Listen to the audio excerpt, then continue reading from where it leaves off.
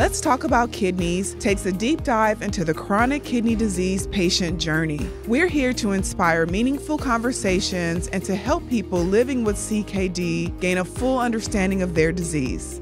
Deciding on what type of dialysis is best for you can be challenging. Listen to what Dr. Richey has to say about making a choice that best fits your needs.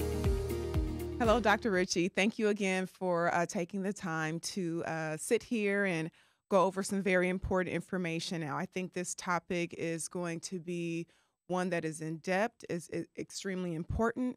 We're talking about the types of dialysis. Okay what types of dialysis are best for each patient, and then we'll go through an overview of the three different types of dialysis. Okay. All right. So let's begin with when is dialysis necessary? That's a very complicated question. So when patients are following uh, with their nephrologist, they're used to looking at their what they call their kidney numbers, and that could be a number called a GFR or a creatinine level. And, and that's really how we gauge how a patient's kidney function is progressing. What I tell my patients is we start dialysis when your kidneys can no longer safely support you. Now, what I mean by that is, are we seeing things on their blood work that could potentially be life threatening? So, for example, uh, a very common indication to start dialysis would be a high potassium level you know, our, our kidneys excrete potassium, and that keeps that level down, which, which keeps us safe. But if a patient's kidneys cannot excrete that, that potassium has to come out somehow. Okay. And so that's that's one indication. Uh, same thing with uh, increased acid buildup in their bloodstream. Uh, another common reason we start patients is because of what we call fluid overload. You know, our kidneys are the really the main way we get rid of extra fluid, and so if you're swelling or have fluid build up and it's making its way into your lungs, if the kidneys cannot get rid of that fluid, then it has to come out somehow. And that's, again, another indication for dialysis. And then the last indication would just be how the patient feels. You know, um, chronic kidney disease and progressive kidney failure, you know, there comes a point when the patient just feels bad. You know, they can't necessarily put their finger on it, but you know, they have no energy, they lose their appetite, they just feel terrible. And, and that is a very common indication for initiation of dialysis. Okay. And when you say feeling terrible, I know people these days are sluggish or work kind of overloads them, but feeling terrible. I think the most common thing I hear from patients is I, I can't do the things I normally used to do. You know, okay. even getting out of bed every day is difficult. Um, like I said, weight loss is very common because patients stop eating. So when you see those particular things, uh, to me, that's an indication that, hey, we have this therapy that's going to help. We need to start it. Okay. And so, what are the types of dialysis? So, there are three uh, main options for our patients. Um, one is what we call in center hemodialysis. Then we have home hemodialysis, and then we have peritoneal dialysis. And, and these are all very different types of therapies. So, by far the most common one that we, we have patients uh, do is called in center hemodialysis. You know, we have these dialysis centers that people drive by them all the time. They're, they're standalone buildings or clinics.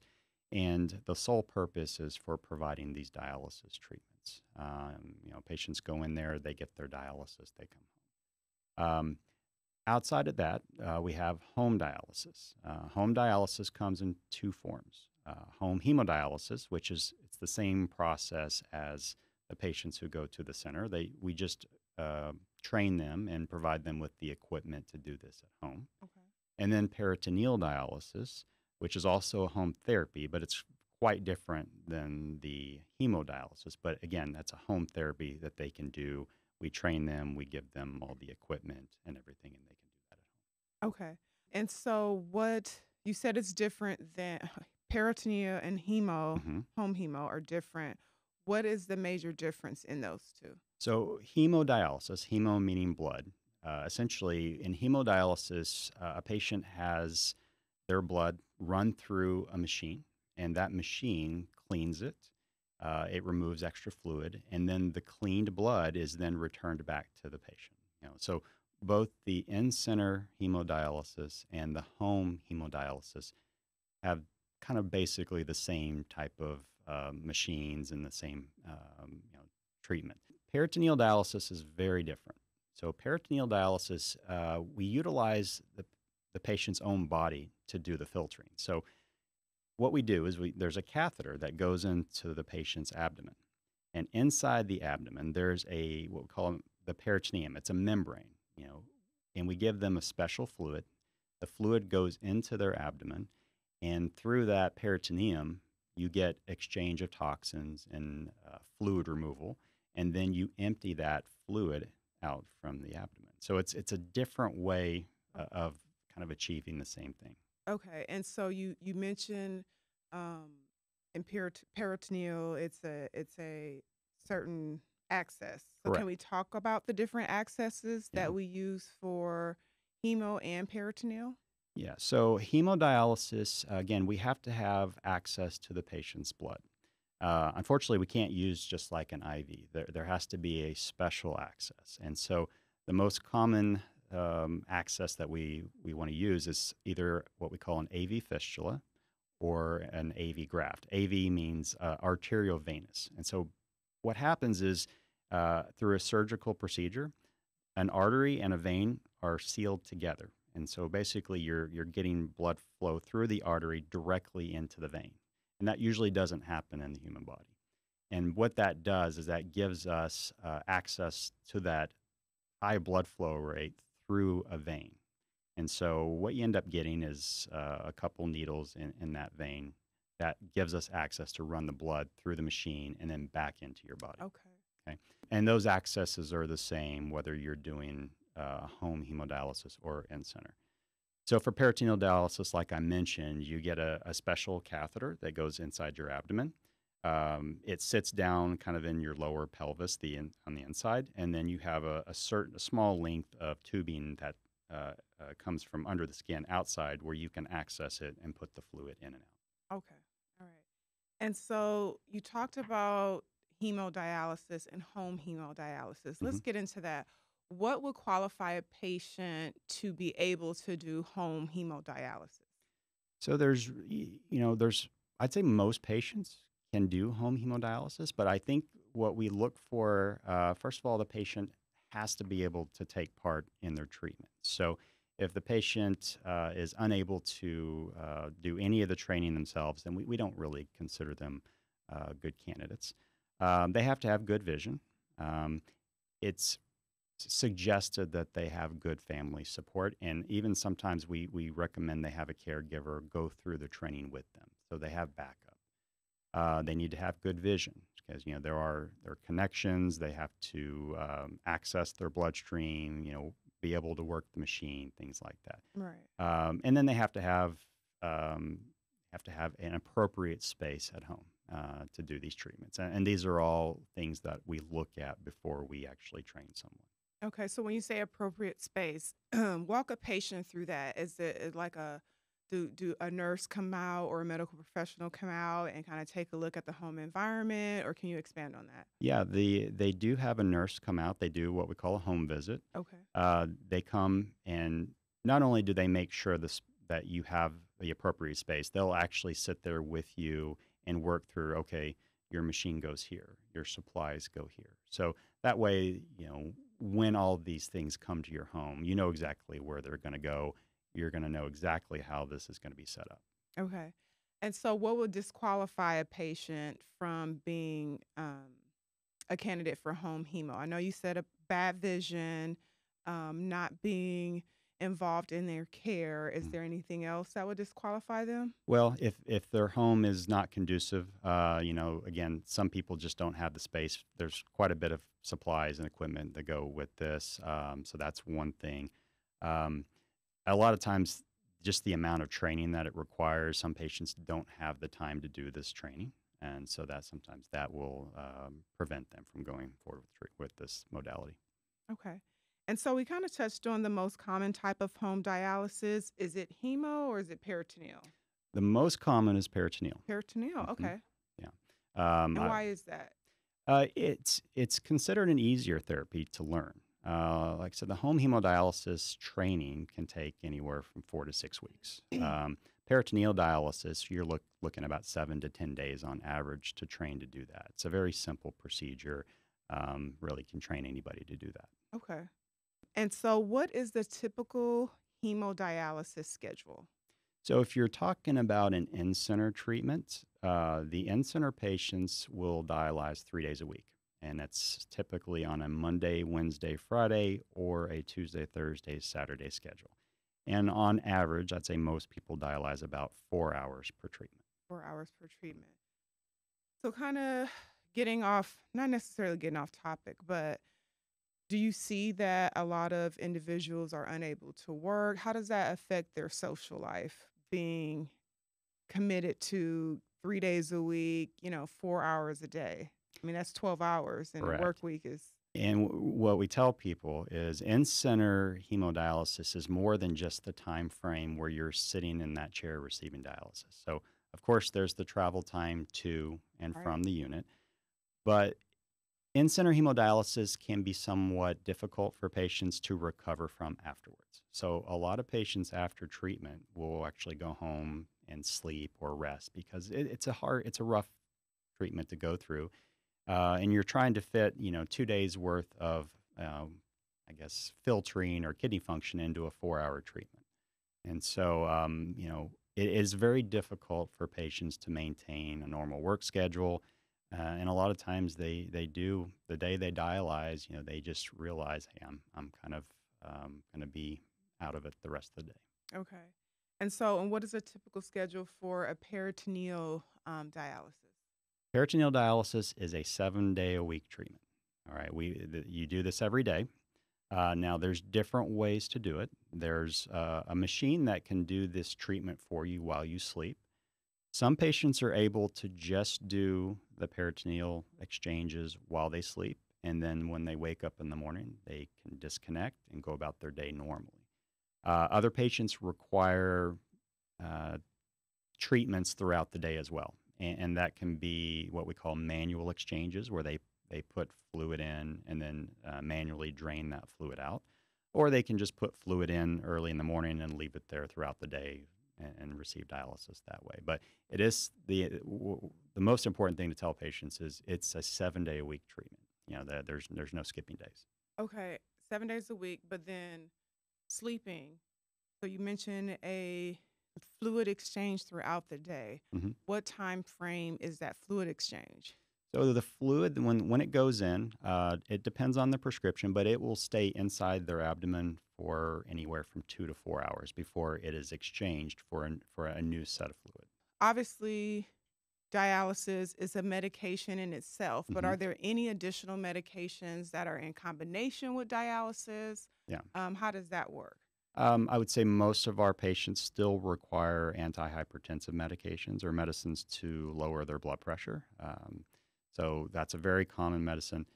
Um, we use what we call phosphorus binders. Um, a big issue with our patients on dialysis is their their bodies still retain a lot of phosphorus, which can cause a lot of uh, long term complications with their bones and their blood vessels. So we try to get that level down.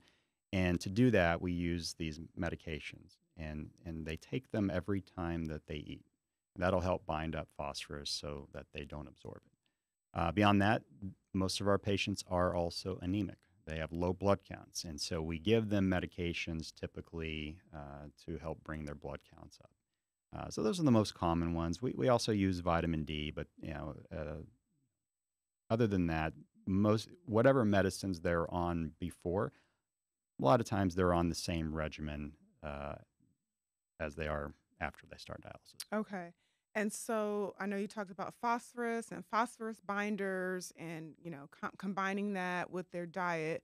Are there any special diets or dietary restrictions for patients that do dialysis? hmm It's a fairly restrictive diet. So uh, we ask our patients to monitor salt intake, uh, phosphorus intake, and protein intake. You know, now protein, we want them to eat more of it. More right. of it, Okay. Phosphorus and salt, we want them to restrict that as much as possible. Oh. Um, So that those are the main dietary um, you know, issues that we deal with. What are some examples for those that don't know of foods that have high phosphorus? High phosphorus, the most common would be dairy products. Uh, dairy products, cheese, milk, uh, ice cream, things like that are, are usually your highest phosphorus content.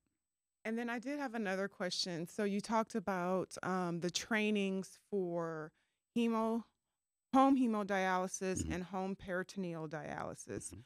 Um, one was seven to 10 days, and one was four to six weeks. Why is there such a, a vast difference in the amount of time? Uh, there's more to learn as far as the home hemodialysis. And, and one of the big differences is with home hemodialysis, you're actually accessing, you know, this these fistulas or grafts. And so, you know, putting a needle into one of these accesses, there are there's certainly a risk as far as bleeding. So we do a lot of training with patients, making sure they feel comfortable, um, you know, putting these needles in and accessing these these fistulas and grafts. I, I think that takes up a, a lot of time. Okay. And then again, the machine's a little bit more complicated. It just there's there's you have to learn all the uh, bells and whistles on the machine, understand um, how to troubleshoot. Okay. That's it for the questions that I have, but I do want to just kind of have you summarize because you're the specialist in the dialysis. If you could give us three main points to um, have patients or even professionals that are listening to take away about dialysis. So dialysis is a last resort, right? We do it because we have no choice to do it. But you know, a lot of patients think of dialysis as you know, they hear stories on, uh, from family and friends um, about how terrible it is, and you know, I think if what we try to get our patients to do is we want them to take their health care into their own hands. So we, we try to get patients to go into home dialysis more so these days. Um, they tend to feel better and you know they get to be more involved in their care you know so we under, understanding that this is a therapy that if they start it it's because they have to start it but we still want people to be engaged and we want them to try to live as normal life as possible and so to go into home therapies i think is something that most nephrologists now are are really trying to stress you know for the patient because it is just better Well, thank you again for being with us today to talk about the different types of dialysis. So, um, patients that are listening can understand what their options are when choosing this type of modality of treatment. And um, you did an awesome job. So, Thank you thank for you having very me. much. Thanks for tuning in today. Learn more about Dallas Nephrology Associates at www.dneph.com. That's D N E P H.com. And if you found the information valuable, be sure to share with those who are impacted by chronic kidney disease. Dallas Nephrology Associates DNA podcast series, Let's Talk About Kidneys, is provided for general information purposes only and does not replace the need to talk with a healthcare professional about your unique situation, care, and options. Our goal is to provide you with as much information as possible so you can be as informed as possible. Reference to any specific product, service, entity, or organization does not constitute an endorsement or recommendation by DNA. The views expressed by guests are their own, and their appearance on the program does not imply an endorsement of them or any entity or organization they represent. The views and opinions expressed by DNA employees, contractors, or guests are their own and do not necessarily reflect the views of DNA or any of its representatives. Some of the resources identified in the podcast are links to other websites. These other websites may have differing privacy policies from those of DNA. Please be aware that the internet sites available through these links and the material that you may find there are not under the control of DNA. DNA shall have no responsibility for the accuracy, legality, or content of the external site or subsequent links. Contact the external site for answers to questions regarding its content. The resources included or referenced in the podcast and on the website are provided simply as a service. DNA does not recommend, approve, or endorse any of the content on the linked sites. The content provided on this website and in the podcast is not medical advice and should not be used to evaluate, diagnose, treat, or correct any medical condition. The content is solely intended to educate users regarding chronic kidney disease, end stage renal disease, ESRD, end stage kidney disease, ESKD, and related conditions, and ESRD, ESKD treatment options. None of the information provided on this website or referenced in the podcast is substitute for contacting a healthcare professional.